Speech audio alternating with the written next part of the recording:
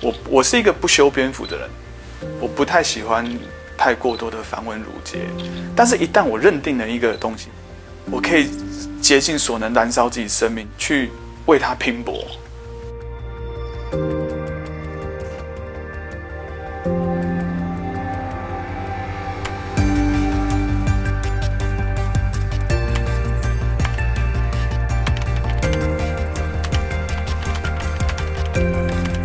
警察大学建设系，大二的那一年，我上了两堂课，让我非常的震惊。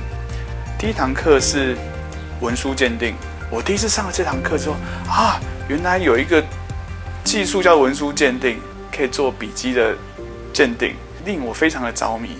大二的另外一堂课是已故的建设中心主任翁景会上的课，他在课堂上就说，有一个学门叫做文书鉴定。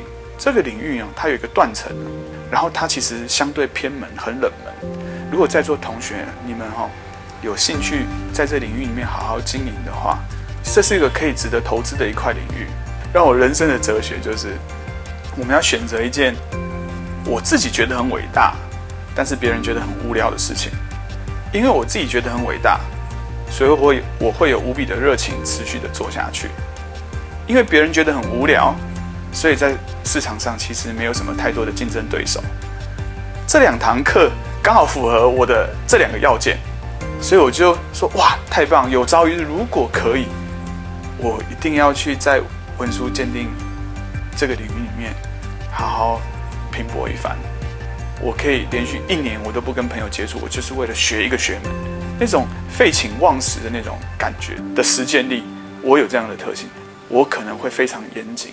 很谨慎，甚至有点到龟毛的阶段去面对它。我觉得这是我的个性。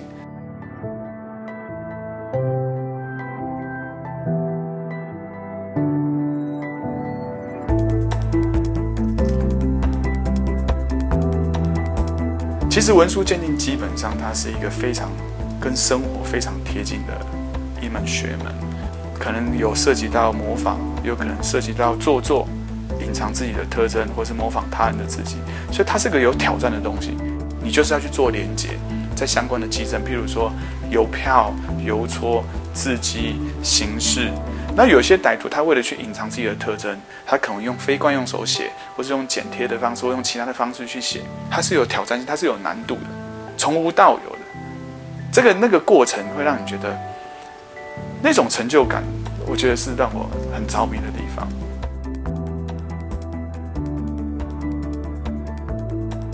台彩公司有把这一批有问题的彩券送到加拿大去看，加拿大的原厂公司只告诉他说，这批彩券上面有微刮的现象，它的出现的位置是随机出现，反而是回到国内之后，他请我们做鉴定。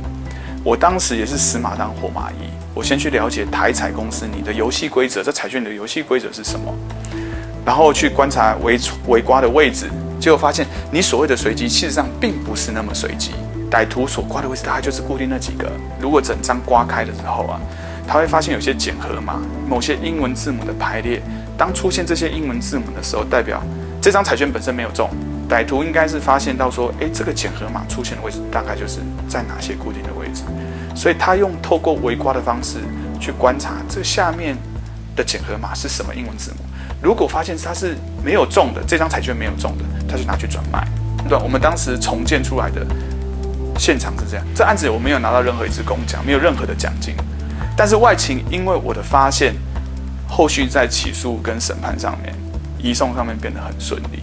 我自己内心知道，我做了一件我自己觉得很伟大的事情。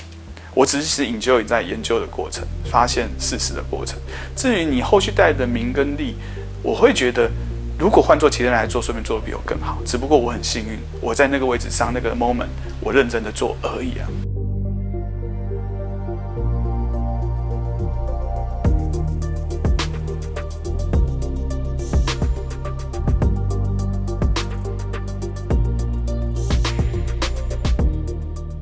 做过一个案子，我告诉法院说，你当时送的比对资料是有问题，结果法院似乎没有了解我要表达的意思，可能是因为我当时在公家机关用有限的公文，让法官没办法清楚知道。结果这个法官把同样的证物再改送其他的另外一个公家机关，但是另外一个公家机关回复说无法鉴定，结果法官自为决定，因此把一个确实是伪造的遗嘱，法官自己认为是真实的，可能因为人力跟资源的关系，所以公家机关它有限的人力跟要处理的案件量，它只能必须用特征简单标示给法官看，但是因为我们在民间，我们是。慢工出细活，细致度上是有差别。然后可不可以沟通，能不能够去跟使用者做充分的沟通，我觉得这也是一个很大的差别。有一些空线的。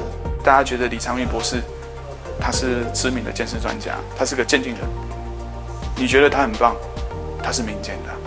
所以有一句话说，高手在民间不是没有道理啊。就我个人来讲，我发现我自己进步的幅度有限，我希望有另外一个。人可以让我更进步。另外一个环境，因为刚好有我的老板，现在的老板张云芝女士，他已经在二零一五年已经退休，退下来自己有在民间去从事文书鉴定工作。所以我觉得，如果有一个 mentor，很像一个导师，可以带着你，好像在前面帮你斩荆辟棘。我的太太告诉我说：“哎，建统，建统，你在早五年呢，你可能气候火候还不够，再晚五年呢。”你可能没有那个胆量出去了。现在三十八岁，就是现在，去吧，去闯一闯。做下来，我觉得还至少我没有后悔，我不会后悔，对吧？我不怕失败，但是不能忍受没有努力过的自己。